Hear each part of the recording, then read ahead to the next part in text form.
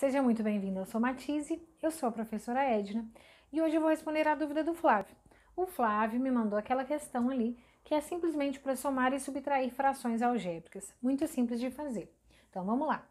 Bom, Flávio, para que a gente possa somar ou subtrair frações quaisquer, eu preciso ter o mesmo denominador entre elas. Por quê? Tendo o mesmo denominador, basta que eu repita esse denominador e faça a operação somente com a parte de cima, tá? Só com os numeradores.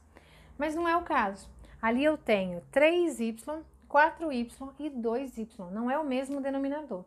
Apesar de ter a mesma letra, o que já é um sinal de que vai ficar mais fácil a nossa questão.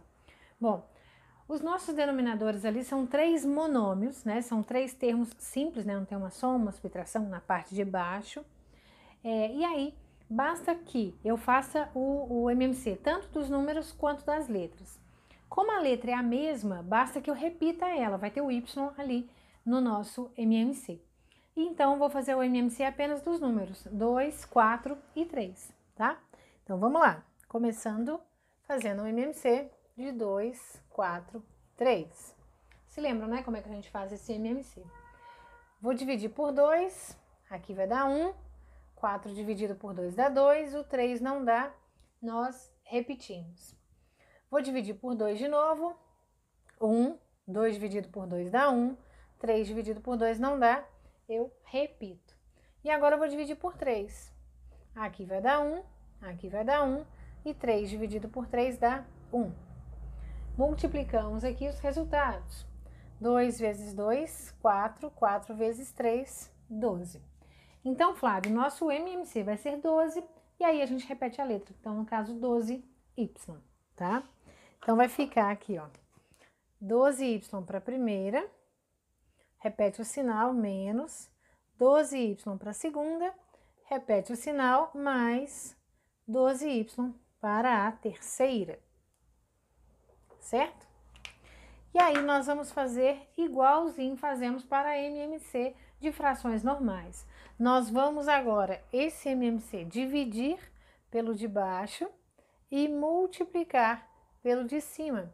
Dividir pelo denominador e multiplicar pelo numerador, tá? Então, vamos lá. Vou fazer 12y dividido por 3y. Então, 12y dividido por 3y. Então, repare, vou fazer o 12 dividido por 3, que vai dar 4, e o y nós vamos poder cancelar, uma vez que eu tenho só um termozinho grudado nele, né? Não tem 12 mais y dividido por 3 mais y. Aí desse, desse jeito, com mais e menos, não poderia cortar. Quando tá grudado assim, multiplicando, e eu tenho a mesma letra em cima e embaixo, nós podemos cancelar, tá? Então, 12y dividido por 3y vai dar 4. Então, 4 vezes 2x, 4 vezes 2, 8, e repete o x menos 12y dividido por 4y. Mesma coisa ali do y que vai cortar, y dividido por y vai cortar. Então, vou fazer 12 dividido por 4, que vai dar 3. Então, 3 vezes x, 3x. Certo, Flávio? Bom, última fração. 12y dividido por 2y. O y cancelamos. 12 dividido por 2, 6. 6 agora vezes 3x, 6 vezes 3, 18x. Ok? E agora, Flávio, para finalizar, nós vamos repetir esse 12y, ele se mantém. E basta fazer o cálculo com os numeradores. Uma vez que os denominadores também têm a mesma letra, eu vou poder somar e subtrair esses três termos. Então, 8 menos 3, 8, 8x menos 3x, 5x. 5x mais 18x, 23x.